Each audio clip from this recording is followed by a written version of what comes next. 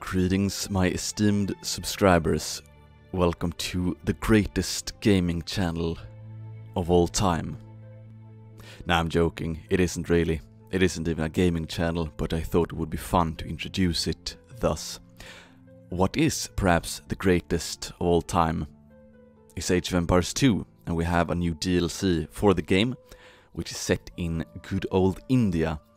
And as you can see before you, we have a campaign with good old Babur. Now, as you have probably seen, I can only suppose that you are following me on um, different social media, Telegram for example, and Instagram. Then you've seen me Babur Khan posting. I recommended a book series a while back, which uh, the first book in the series is about Babur Khan, and um, I actually read this book quite a few years back, and then I decided to reread it, and it was much better on the second read through, because as you um, attain more experience yourself, you get a different appreciation for uh, well the uh, ups and downs of life, so to speak, and uh, you get a different appreciation for someone who, despite everything, pursues um, his goals and his visions, and uh, someone who has a firm belief in his own destiny. So, for all Indians who might be listening and watching this, I am of course not endorsing the um, the havoc Babur um, caused in India, but you know history is full of violence, so it's not really something I um, I need to say. But um, but I know that uh, there is a bloody history of the Mughals. But anyway, the book series is what I want to get to. I can highly recommend it. Great series, and as you all know, I do write a lot of book reviews, mainly of um, more esoteric literature as of late. Now, if you're new to reading, I would definitely recommend you to read some historical fiction so you get a good, um, easily digested overview of um, certain time periods. So I learned quite a bit from just reading those. Uh, books about the Mughal Empire. Now, anyway, this is not actually um, a video on books. This is a Age of Empires 2 Let's Play video. So uh, we're gonna get straight into good old Babur here. So as I'm sure they will say in this uh, cinematic we're about to see, Babur Khan claimed to be a descendant of the great Genghis Khan and also of uh, Tamerlane, Timur Lenk, who um, you actually have a campaign here in Age of Empires 2, and he was a, a brutal conqueror um, of, uh, of exceeding ruthlessness. Might make a separate video on him later on, who knows. So anyway, Babur Khan, he came from a line of uh, bloody conquerors, and of course he had grown up with, you know, people telling him of his um, of his destiny, of his blood, that he had, you know, was uh, divinely blessed to achieve greatness. And of course, if you have that sort of belief in yourself, then reality will conform to that vision. As I mentioned in Dauntless. Now, anyway, enough talking from my side. Let's get into the um, game itself. Pearl of the East. Perhaps they are talking about Samarkand there. We'll see. Allah gives and Allah takes. I fear that I do not have much time left in this world. Yet, I cannot complain. My life has been an adventure. And for all my humility, I believe it has been extraordinary enough to be written about. You may accuse me of vanity, but I have decided to write the book myself. It should be good literature, after all. I dined with fine emirs and caroused with simple peasants on moonlit steppes. I waged wars and sat on thrones only to lose them again. And it all began in the maelstrom of intrigue and bloody skirmishes that was my beloved Transoxiana, the melting pot of Persian high culture and nomadic traditions. To the east of Samarkand, my father ruled the fertile slopes of the Fergana Valley. Like all heirs of Tamerlane, he was a proud Timurid who sought to imitate his great ancestor. Unfortunately, Allah had not blessed him with a knack for warfare. After a few humiliating defeats, he decided to devote himself to his other passions eating, drinking, and rearing pigeons. One day, as my father was climbing the stairs to check on his birds, Allah, in his infinite wisdom, decided that this model of gluttony had waffled on the earth for long enough. Halfway up to the dovecote, the stairs collapsed under him, and he fell to his death. And that is how I, Babur, came to be Lord of the Fergana Valley. Yet, like all transitions of power in our culture, it was not to be a peaceful one. Thanks to my dear mother, Kutluk, my Bays agreed not to abandon what surely appeared to be a dynasty in shambles. But my devious uncles were another matter. At that time, I was just a 14 year old boy with nothing to my name, and my uncles, who had long desired the Fergana Valley, thought that my inheritance was ripe for the taking.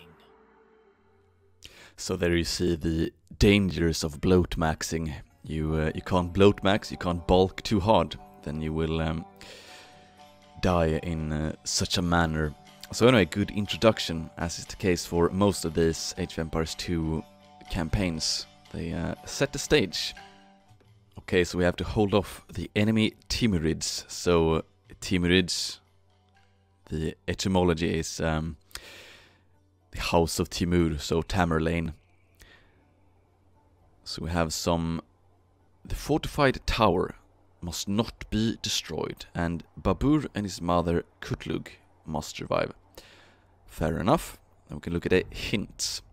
I'm not gonna read through this because it's um, it's not reasonable at this particular time. Men sneak around in the shadows of our walls, my princess. Shall we get the boy to safety? These cowards snuck up in the dark of the night, but there is no need to fearfully hide. Hold our position until dawn, and the sun will reveal the faces of these scoundrels. Alright, we need to defend here. So here we have Kutlug, which is the mother, and here we have young Babur.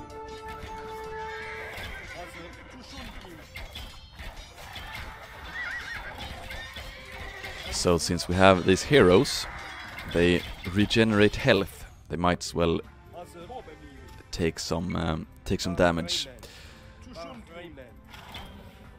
So I'm not risking uh, Babur. I am um,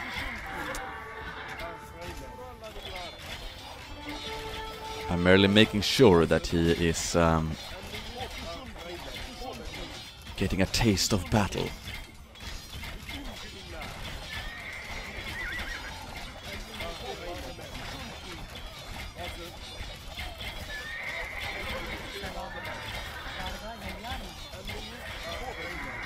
Of course, we have to be careful so um, so he doesn't die, uh, young Babur.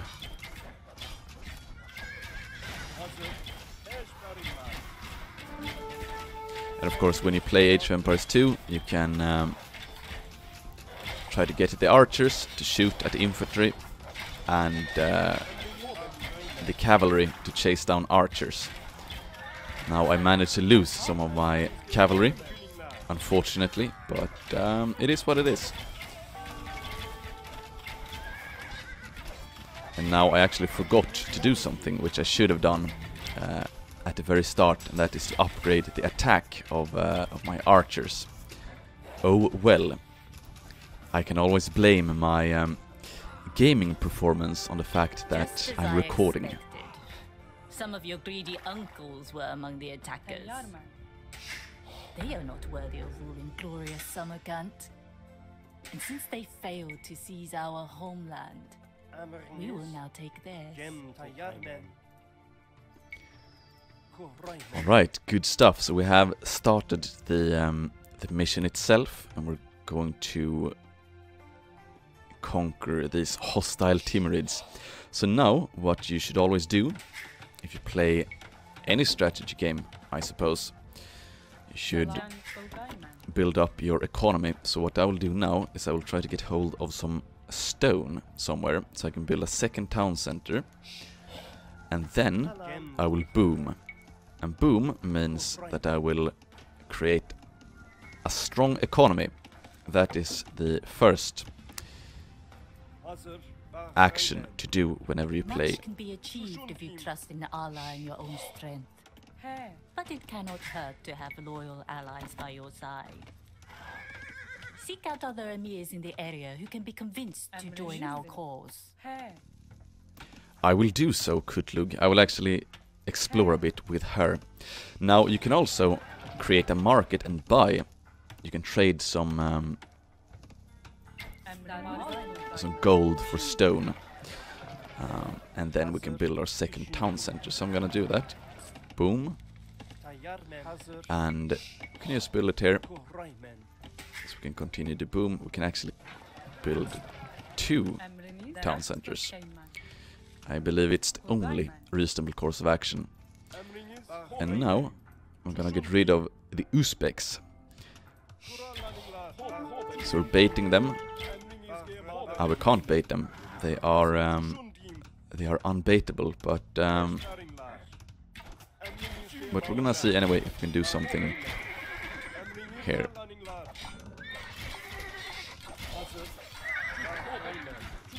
Now they have been successfully tricked into coming to us.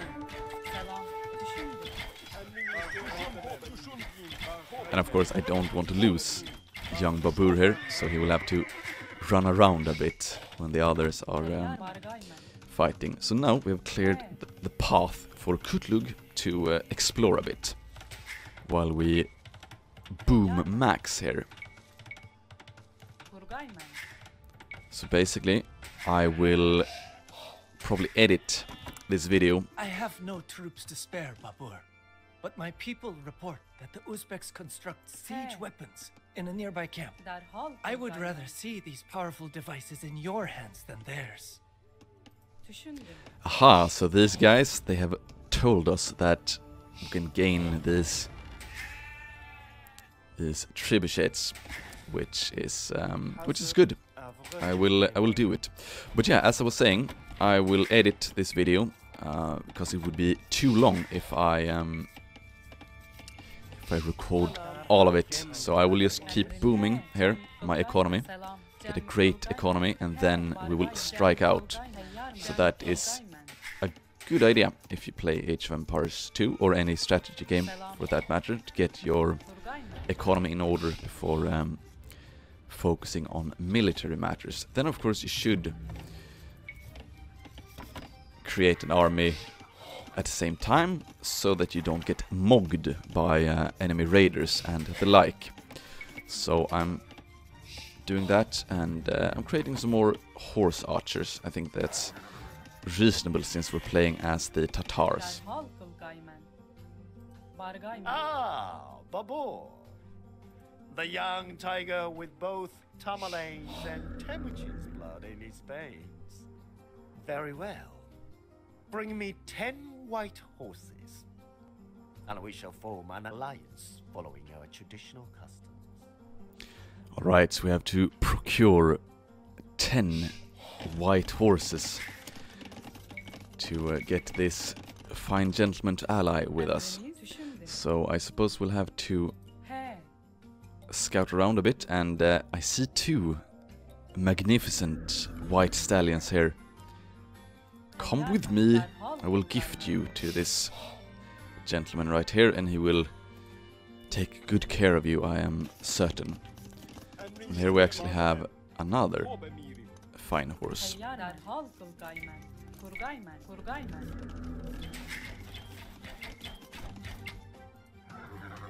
So we're gonna send him straight down here. And uh, then we have a third Timurid noble to visit. And then we'll launch a little raid here. Just need to build up our forces a bit. And here are two more horses. How nice. Your father was not exactly a religious man. Do you care more for pious people, Bargayman. Babur? Düşündüm.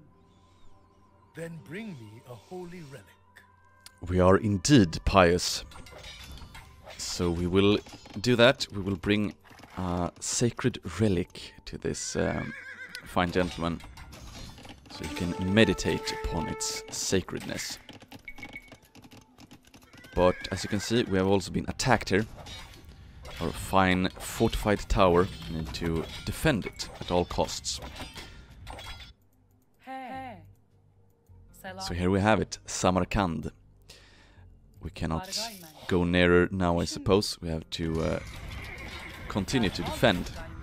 Here we got into a bit of a bit of trouble here, uh, unfortunately.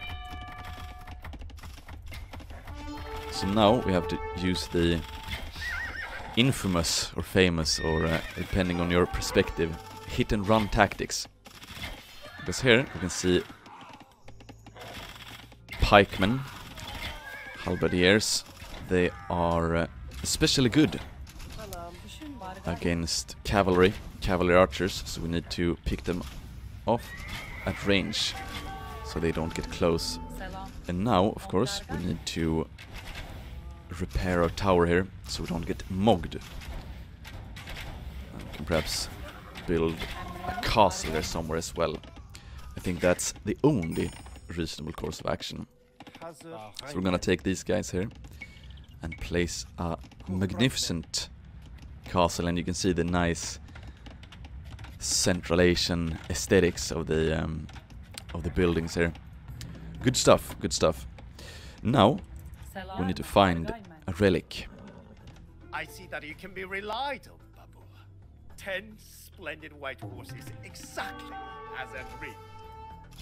Come then, henceforth, we ride under the banner of the tiger.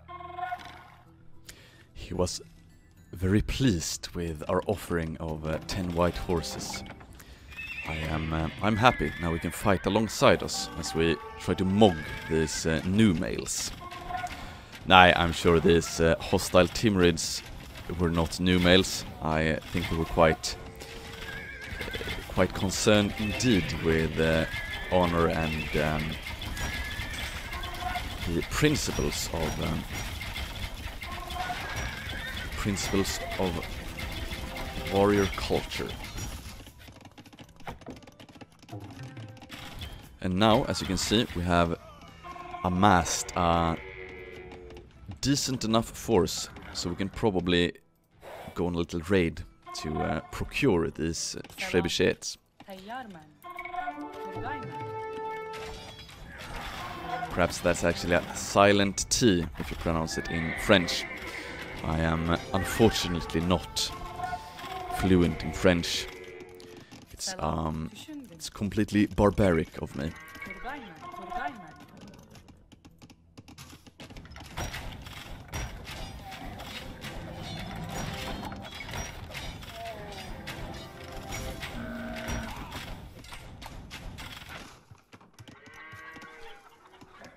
Right, the moment of truth. Can we defeat these Uzbek scouts? Perhaps we can. So we have here some camels, which are good against cavalry. Because horses, they don't like camels. They get a bit anxious when they're near camels, and this is reflected in the game by camels being additionally good against uh, cavalry.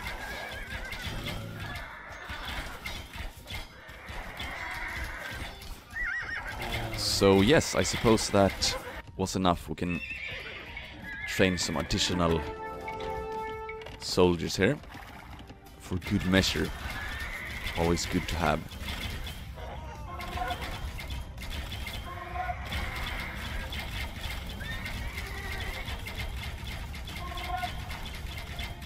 And here we have found a sacred relic, so we need to train some more camels, I suppose, to um, get rid of them.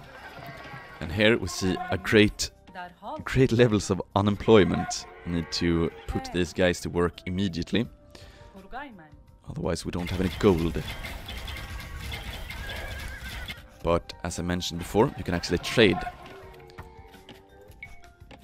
and get some gold that way, but of course it's better to um, to mine gold or even trade. You can see if we find a friendly market somewhere, and then we can send some trade carts. Well done, Tiger. You will easily crush your devious uncles with these trebuchets. Behold, we have procured the... Uh, and there we were exceedingly close to getting Babur killed. Perhaps I should actually station him in uh, the castle here so he doesn't... So he doesn't die, it would be a fail. It would be a failure of a let's play. Oh, this is also a bit of a failure. They got um, they got mogged, my villagers. They got mogged by raiders. So we have to send our cavalry there immediately. Can also train some new villagers.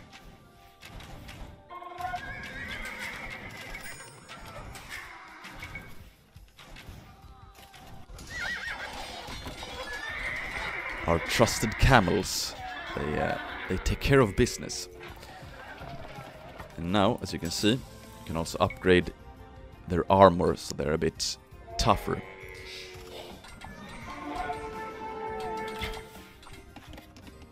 So we have destroyed one castle here and we are approaching the great city of Samarkand. And uh, we have also finally picked up the relic which we will gift to the pious lord of this uh, fine village. I hope he appreciates our uh, fine gift. And there is the second castle we need to destroy with our fine trebuchets. And we have procured a military camp here as well, so we can train additional soldiers and send in to the thick, the thick of uh, Allah Fighting. must love you greatly if you manage to find this relic and bring it to me. Hazır. My dervishes and I will stand by your side in the coming battles, Babur. Nice to hear. He did. He did appreciate Well done, our fine. Uh, Two gift. influential have joined us. Skilled diplomacy is as good a weapon as a sword. Sometimes.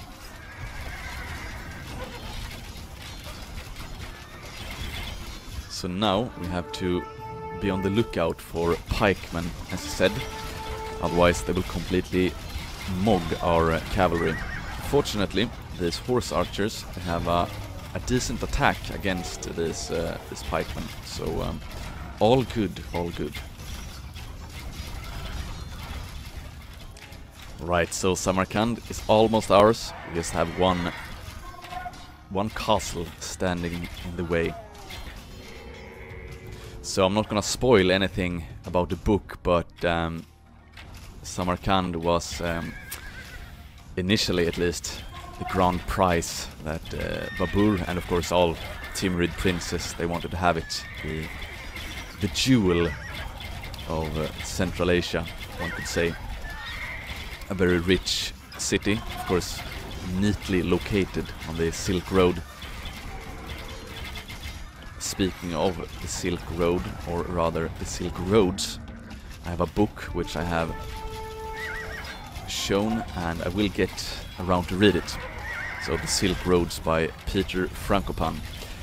I will um, talk about it in a podcast or a book review or even in a video when I have read it, but my to read list is um, I could cry with pride and happiness.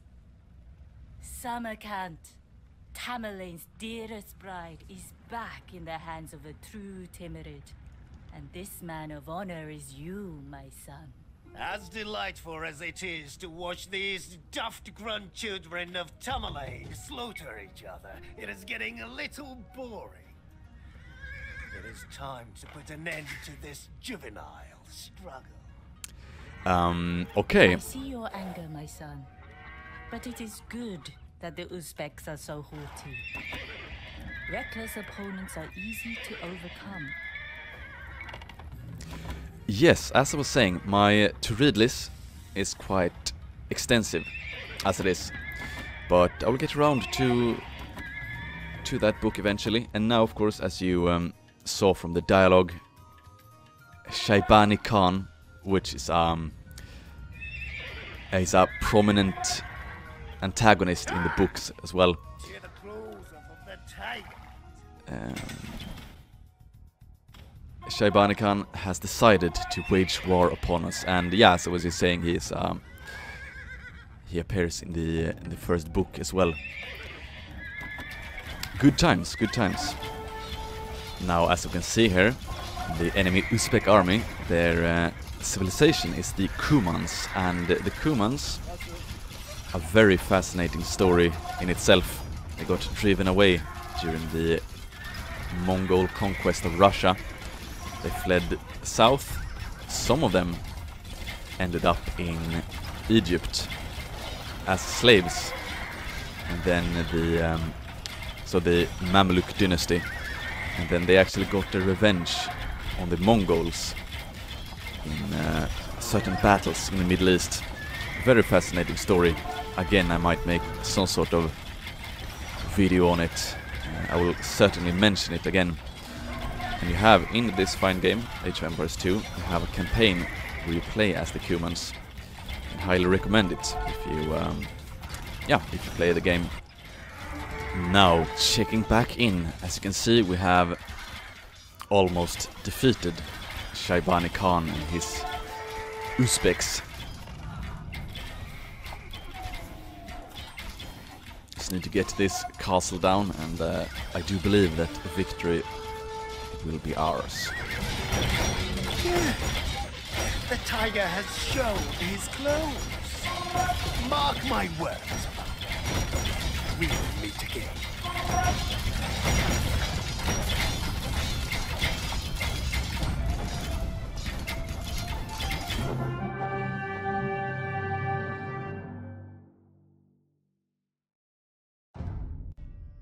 On a moonless autumn night, we overcame the walls of Samarkand.